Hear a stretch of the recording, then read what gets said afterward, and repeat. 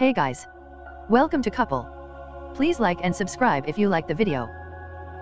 The way President Donald Trump handled Senator John McCain's death was disturbing, Senator Lindsey Graham said on Thursday.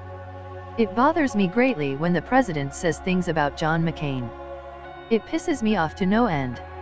And the way he handled the passing of John is just it was disturbing, Graham said, appearing on CBS News on Thursday morning. McCain, a Vietnam War hero, died of brain cancer over the weekend after serving three decades in the Senate. Graham, RS.C., was among his closest friends in the Senate. Trump had a tense relationship with McCain that dated back to the 2016 presidential campaign.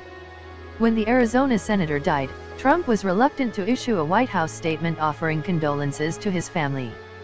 Instead, he posted a short tweet that did not mention McCain's decades of service. The American flag at the White House had been lowered to half-staff in McCain's honor after his death on Saturday.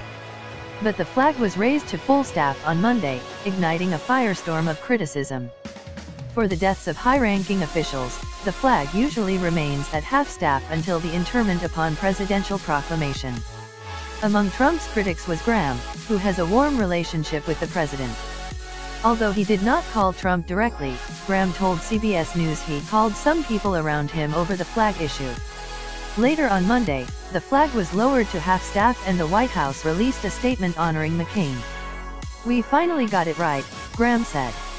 I am not going to give up on the idea of working with this president. The best way I can honor John McCain is to help my country.